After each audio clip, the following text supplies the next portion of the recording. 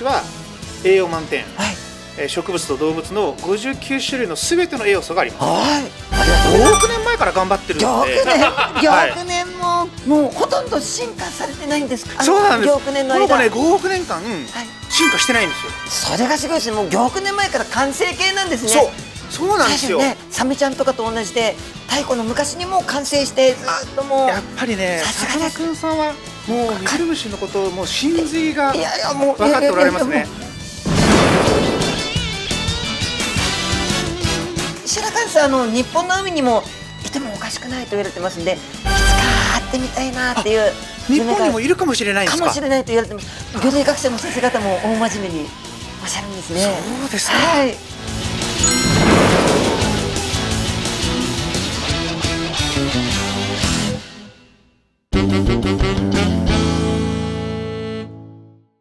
や本当にさかなクンさん今日は、ようこそ、おユーグレナーの本社まで、えーお越しくださいました。どうもありがとうございます。もう尻尾なんでしょうか？可愛いですね。あそうですね。これ弁毛一本ですね。弁毛一本なんですね。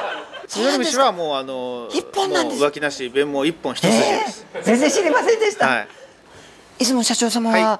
あのお魚もお召し上がりにならなられますか？もう私は、はい。あー大好きで魚が、はい。あどんなお魚がもうどんどんお食べるんですけれども、は一番好きなのはあー釣るのも、はい。お食べるのもカツオです。カツオですか？はい。カツオちゃん、はい。カツオちゃんは今日取れなかったんですけど今日私出雲社長社長様にお魚をお渡ししたくて、漁業に行ってまいりました。嬉しい。出雲社長様のはい。大好きなカツオちゃんは実はこのサバちゃんの仲間なんですねそうなんですか、はい。ありがとうございます。ありがとうございます。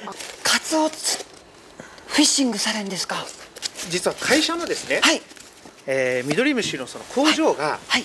あー沖縄のはい。石垣島にあるんです、石垣島。はい、はい。なのであの石垣島のお漁師さんに、おー。えーお願いをしてですね、はい。でもう一日に、えー、カツオをですね、はいもう30匹。おー三十匹。はい、いいですね。いやなんかさかなクンさんと喋ってると急にカツオ食べたくなって食べたくなっちゃいますね、ええ。あでもあのなんかもう磯野社長様。思い出しちゃいました今。カツオちゃんはですね、はい。必須アミノ酸吸収全部入ってるそうです。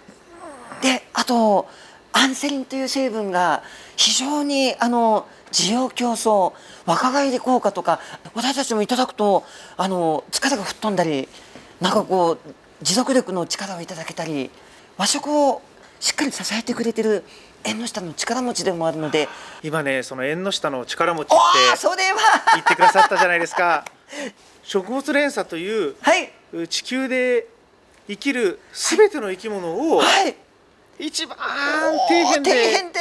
支えてるのわがあミドリムシちゃんなんですね。すごいもう愛情がすごく伝わってきます。めちゃくちゃ嬉しい。僕今ミドリムシにすごいいただきました。世界中のミドリムシを代表して御礼申し上げますありがとうございます。ありがとうございます。今めっちゃ喜んでます。え磯部社長様あのミドリムシちゃんっていうのはもう淡水海水どっちにも適応してるというんでしょうかね。はい。あすごい。もう世界中にですね、えーもうありとあらゆるところで、はい。えーミドリムシがあいろんな栄養素を作ってます、植物と動物の59種類のすべての栄養素があります。はい。でさっきおっしゃってくださったみたいに、はい。ミドリムシ食物連鎖のそのスタートですから、はい。いろんなあー動物性のプランクトンや、はい。あーミジンコもはい。おみんなあミジンコミドリムシちゃんまで食べますよね。それでミジンコやあイワシのようなその、魚に青魚。はい。え溜まってはい。でそれをカツオがバクッと食べて、えー溜まっていくと。素晴らしい。この本当にその縁の下のその力持ち、はい。えー食物連鎖のお出発点、えーみんなのお栄養素を作っているのがミドリムシなんですね。まさにもうみんなの活力の源。はい。っていう。ありがと5億う？ございます年前から頑張ってる5ので。億年。はい。5億年もこんなにも長く長く。もうほとんど進化されてないんですか？もうずっともうそうなんです。5億年の間ね5億年間はい。進化してないんですよ、それがすごいです。ねもう5億年前から完成形なんですね。そう。そうなんですよ。ね。5億年前に、はい。もう神様のいたずらで、はい。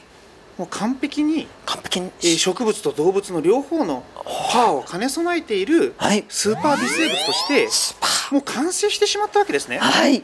サメちゃんとかと同じで太古の昔にも完成してずっともう。やっぱりね、さすがですね。さんはもうミドリムシのことをもう真髄がいやいやもう分かっておられますね。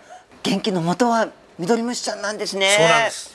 嬉しいです。あ。じゃあそんなはい。あーそのさかなクンさんにですね、はい。ここに、えー、ムシドリンク。ギョギョ。これはね栄養たっぷりなんですけれども、はい。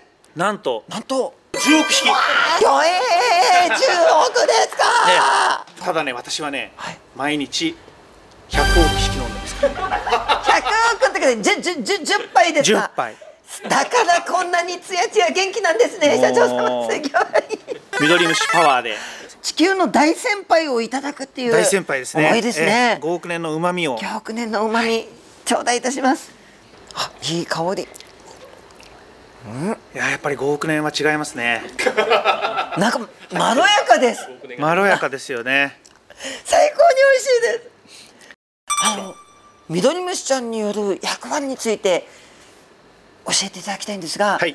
あー今あの一番この皆さんがそのお気にしているその心配していることはですね、はい。その体のそのお元気、はい。え健康の中でもおちょっと難しい表現になっちゃうんですけれども、その免疫ですね。免疫。この免疫力をはい。おミドリムシはですねこうパワーアップしてくれる。そういう力があるんですね、おーということは免疫力を上げますと、えー、病気にもなりにくく、はい、もしかすると今のこの新型コロナウイルスの大変な状況ももうそういう悪いのはね、はい、もう緑虫で元気になって、はい、こうやっつける。そういうこうお手伝いをですねだってもう10億匹ですよ。もうパンチ十億個ですからねもうそれはもうもう悪いウイルスなんてねもうばい菌なんてもう全部やっつけますよ。そうだもうミドリムシパワーあーそういうまあ、スーパー微生物の良さを発信していきたいなって思ってます。聞いてみたいなと思ってたのがですね、えーさかなクンさんが一番愛しているそのはい。お魚と、はい。お私が一番大好きなこのミドリムシみちゃんっていうのははい。あー似てるところとかないですかね。いや絶対あると思います。まずやっぱり私たちに元気となんていうか元気と喜びをたくさん届けてくれるっていうのはもうミドリムシさんとお魚さんすごく共通してる点かなと。やっぱり美味しさとか栄養とか、はい。やっぱり長いしあのこの地球の歴史の中で今あのこのたくさんの栄養と今の姿があると思うんですけどこれはもうミドリムシさんと魚さんはもう同じなのかなと思うんですね。でもお魚はあのちっちゃな数センチのハゼの仲間とかでっかいジンベエザメちゃんまで本当に足したような大きさとか形があるんですけどお魚の中にもミドリムシ様ほどではないとは思うんですけどそこまで長い進化ではないと思うんですがやっぱり長い歴史を誇る魚といえばやっぱり、えーシーラカンスちゃんとか生きた化石ですね。はい、シーラカンスはあの日本の海にもいてもおかしくないと言われてますんでいつか会ってみたいなっていう日夢が本にもいるかもしれないんですか？かもしれないと言われてます。昔は今でいうあのイワシちゃんみたいにもう世界中の海にまた淡水域にもいたそうなんですところがあの恐竜さんたちとともにあの浅い淡水域とかにいたシーラカンスの仲間はみんな絶滅してしまって深いところにいたシーラカンスの仲間だけが生き残ったという隠れてるとしたら、はい。あ海の深いところなんですか、はい、日本の深いあの海溝とかその、岩穴とかそういったところにもしかしたらいてもおかしくないと魚類学者の先生方も大真面目におっしゃるんですね。そうですかはい、僕もそのあ巨大ミドリムシとかはい。探してるんですけれいども,、もちょっとなかなかここにしかいなくてですね。もう唯一もうオンリーワンの。こういうのがいたらねそのミドリムシステーキとか作れるじゃないですか。あステーキいいですね。だからあのいろんな研究して、はい。えーこれぐらい大きいそのミドリムシをこうあーのね。ハンバーグにしたいなと思ってるんですけど でもやっぱりその確かにおっしゃる通り、同じぐらいその長いはい歴史がありますよね。歴史の中で。魚は本当にその大きい魚小さい魚、はい、いろんなその種類があるじゃないですか、はい、これがやっぱり魚のその多様性がやっぱ魅力というか楽しいですね。すね。世界中で約3万種、日本だけでも4000種を超える魚がいますので、図鑑を見てるとこんな魚いるんだ、いつか会ってみたいなと思いながらあちこちの海行って出会えた時やった会えた嬉しいってやっぱりその時の感動っていうのがもう何とも言えなくて、だからやめられないなっていう。さかなクンさんが、一生の中で、はい、もうこの子に会えたら。はい。